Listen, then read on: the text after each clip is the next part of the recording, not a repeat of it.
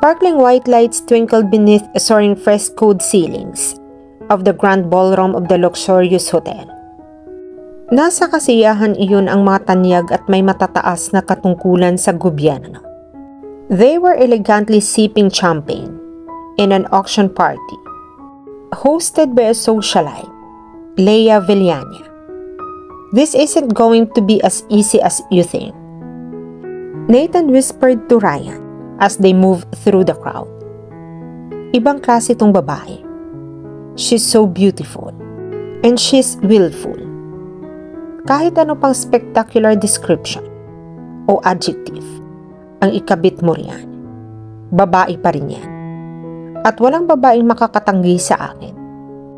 Kumpiyansang sagot ni Ryan, saka nagpalingalinga. Hindi pa rin siya makapaniwala na sa Pilipinas ulit siya Madalas ay nasa ibang bansa siya, lalo na sa mga bansa sa Asia. He had spent the past 15 years building massive land projects. Madalas niyang nababanggit sa mga kaibigan niya na sa ibang bansa na siya permanenteng maninirahan pero paulit-ulit pa rin siyang bumabalik sa Pilipinas. Nasa bansa ulit siya upang isakatuparan ang isa sa pinakamalaking proyekto niya, the Five Skyscrapers he was planning to build in Makati would be his legacy. Kaya ganoon na lang ang panggigigil niya. Nang malaman niyang nabili na pala ng multi-millionaire na asawa ni Leia Villania, ang lupang pinagbabalakan niyang pagtayuan ng pangarap niyang proyekto. Sa kabutihang palad, ay namatay na ang negosyanteng asawa nito, si Giovanni Villania. Dalawang linggo na ang nakararaan. Nakasisiguro siya na mas madaling kausap at mas madali niyang makumbinsi ang byuda na ipagbili sa kanya ang lupa. Handa siyang bayaran ang lupa sa presyong gusto nito. Natiyak niyang magpapadali sa kasunduan nila. Alam ni Ryan na mahigpit ang bili ng asawa nito na isa katuparan nito ang plano sa lupa. Ngunit, may babae bang tumanggi sa kanya? Hindi iilan ang nagsabi sa kanya na nalikha ang mga babae upang sumunod sa kanyang kagustuhan. She heard that Leia was a gold digger. Why would she marry a man who was more than three times older than her if she wasn't? And he had something that a gold digger would always find hard to reject. Money. Baka nga wala pa siya rito. Mahinang sabi ni Nathan Nahalata niyang nag-iingat ito na may makarinig sa pag-uusap nila. Ang dinig ko, mula nang mamatay yung asawa niya, ay wala nang ginawa iyan, kundi ang magkulong sa bahay at magluksa at party niya ito. At hindi niya pupuntahan? Sino ba ang nag-imbita sa mga taong naririto ngayon? Pero alam mo ba kung paano raw namatay ang asawa niya? Anito sa mas mahinang tinig. Sa kamera. Habang kapiling ang Miss Socialite, hindi raw nakayanan ng puso yung sobrang sar, sobrang kaligayahan. Natawa siya. Sa pagkakaalam ko, matagal nang may sakit yung asawa niya. Saka huwag kang mag-alala. Wala akong sakit sa puso. I'll be safe kahit sa kama na kami tumira. Sinabi ko na sa iyo, Ryan, mapapasubo ka sa babaeng ito. And I don't mean in bed. Sabi nito habang pinapahid ang pawis sa noong. Ryan couldn't help but be amused by his friend. Mula nang dumating sila roon, ay hindi na nawala ang pagkakaasiwa sa itsura nito.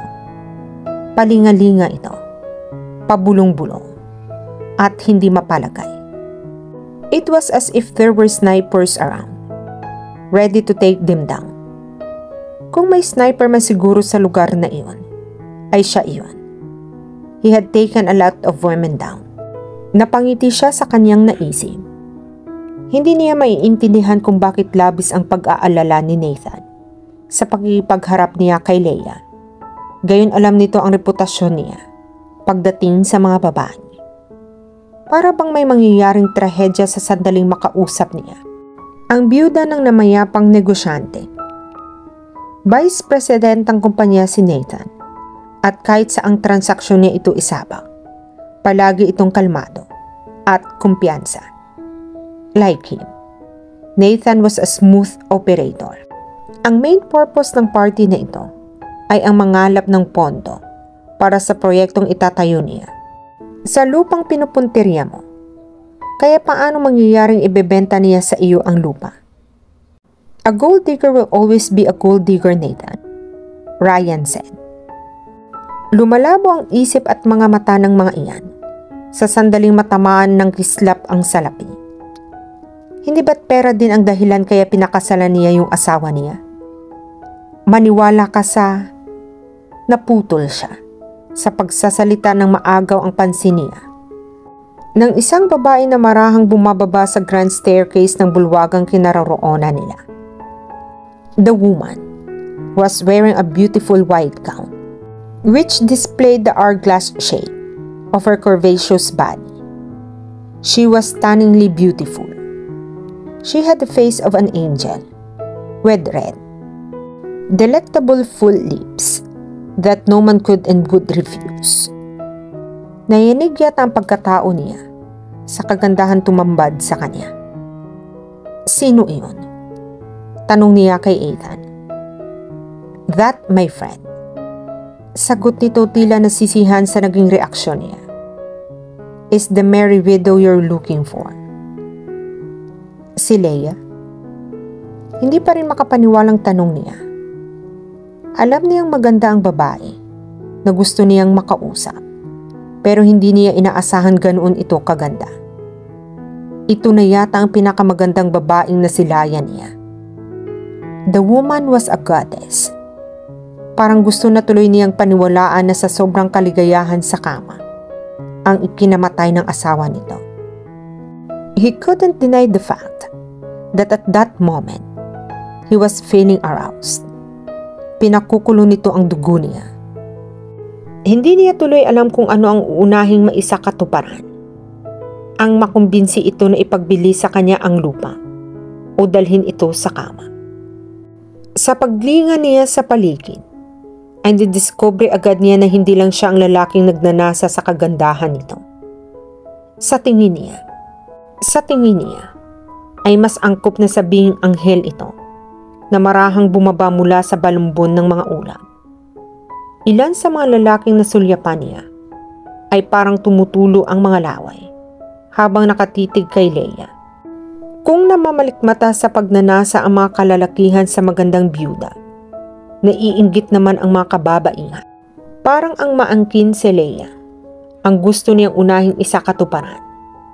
Hindi niya inaalis ang mga mata niya rito. Kasulukuyang naglilikot ang mga imahinasyon niya. Ini-imagine niyang nakahiga sa kama si Leia.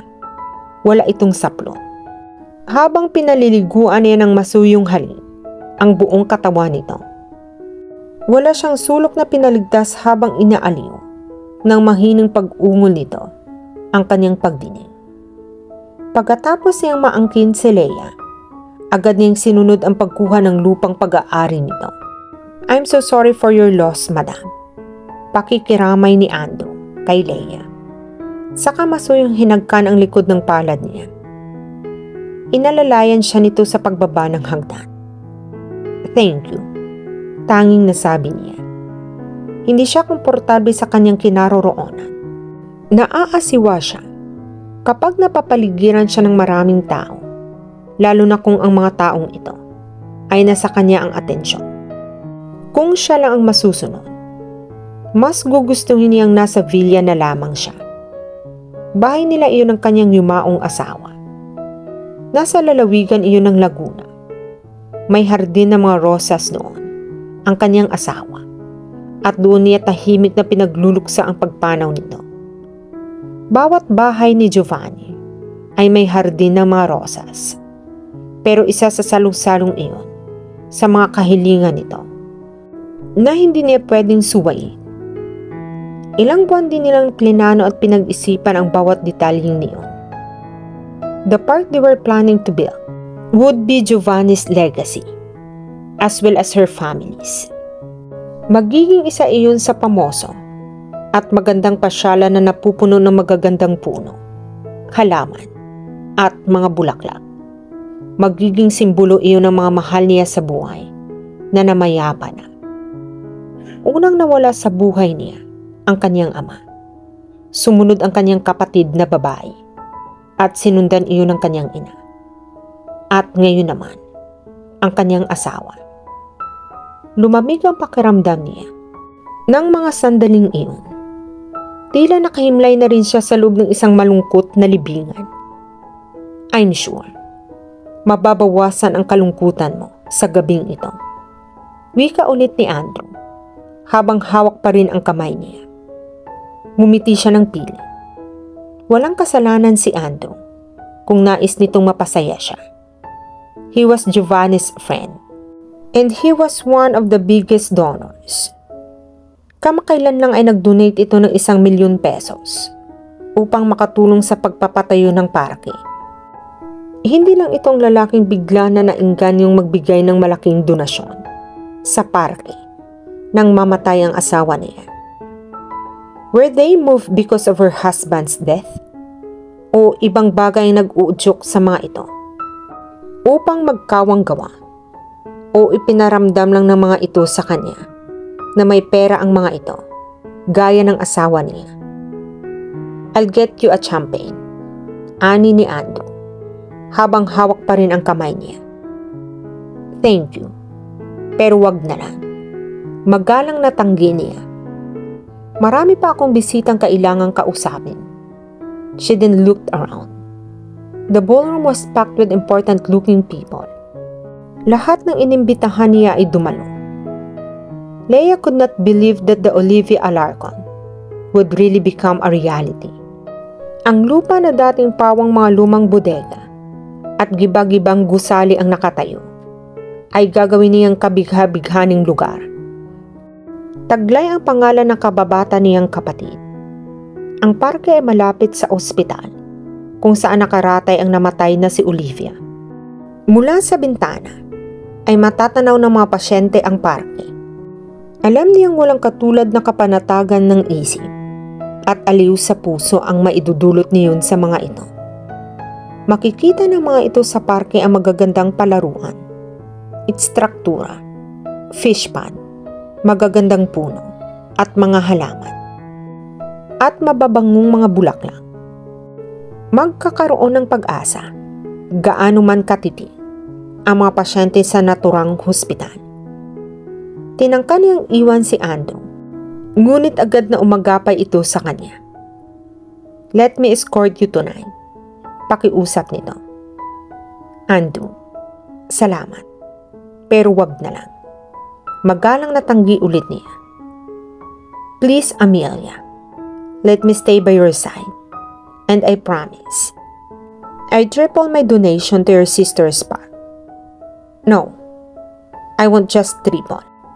Bingi ka ba? She said no. A man's deep voice interrupted Andrew. She doesn't want you. Napatingin si Leia sa nagsalita. Saglit na napigil niya ang kanyang hininga. Matangkad ang lalaki na sa tantya niya ay lampas anim ang talampakan. Nakatayo ito sa ibaba ng hagdanan, nakaharap sa kanila ni Andrew.